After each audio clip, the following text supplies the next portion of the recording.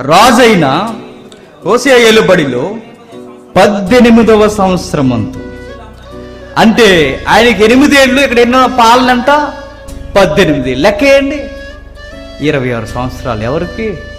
అంటే ఒక యంగ్స్టర్. ఎవరు? రాజు. ఇరవై ఏళ్ళ వయసులో ఏ అబ్బాయికైనా ఎలాంటి ఆలోచనలు ఉంటాయి?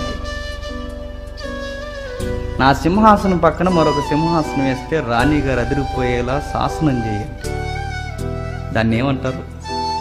ఏదంటారు? సంయమవరం పెట్టండి. తెప్పించండి.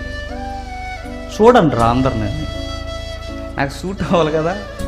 చూసి తీసుకురండి. అలా అన్నాడు ఒకడు ఎవరో? గతంలో ఆశ్వర్యస్ అలా వాక్యం లేని వ్యక్తి ఎవరు?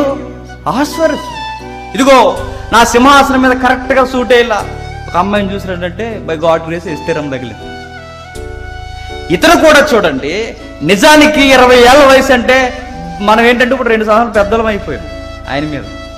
ఆయనకి ఇరవై ఏళ్ళ వయసు మన మీద రెండు సంవత్సరాలు చిన్నోడు. ఎవరు? అంటే ఎంత డిగ్రీయా? డిగ్రీ అయ్యి ఉంటుంది అప్పుడే జస్ట్. డిగ్రీ చదివే వయసు కుర్రోడు. అంటే ఇదిగో మీలో నువ్వు నూగు మీసాలు ఉన్నాయి చూసారా? ఆ వయసు.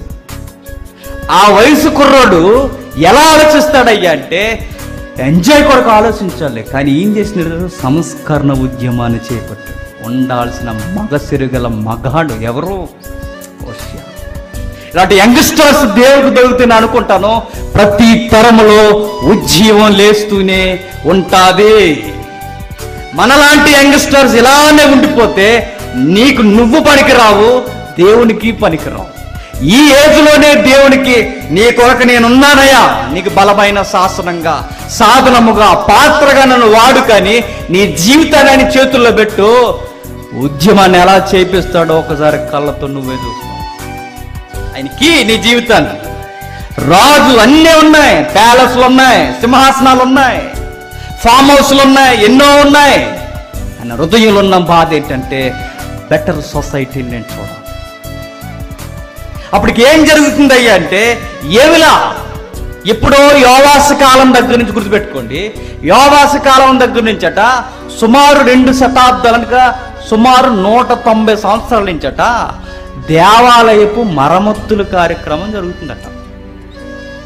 అదిగా ఆయన చూడండి ఎంత చక్కగా ఉన్నాడు. మంచి అమ్మాయి దొరకడానికి దొరుకు మనకన్నా బాగున్నాడు కదా. మరి ఏంటయ్యా ఆయనకంటే? ఒకటే దేవుడు పిచ్చి. సమాజం బాగుండాలన్న వాల్యూస్ కలిగిన వ్యక్తి.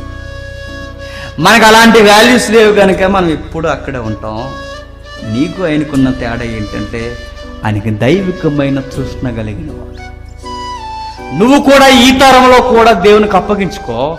నీ ద్వారా కూడా గొప్ప కార్యాలు దేవుడు చేస్తాడు. జాలర్లతోనే జయించినవాడు.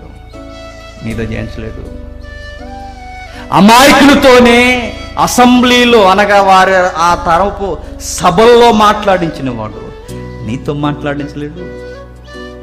ఆయనకి కావాల్సింది ఏంటంటే ఒప్పుకోలు మనసు కావాలి. దేవుని యొక్క చిత్తం పరలోకంలో జరుగుతున్న చిత్తం భూమి మీద కూడా జరిగించాలన్న తృష్ణ కలిగిన వ్యక్తులు యంగ్స్టర్స్ ఎవరైతే ఉన్నారో ఆటి వారు ఆయనకు దొరికితే ఉద్యమాన్ని ఈ తరంలో కూడా లేపుతాడు ఆయన.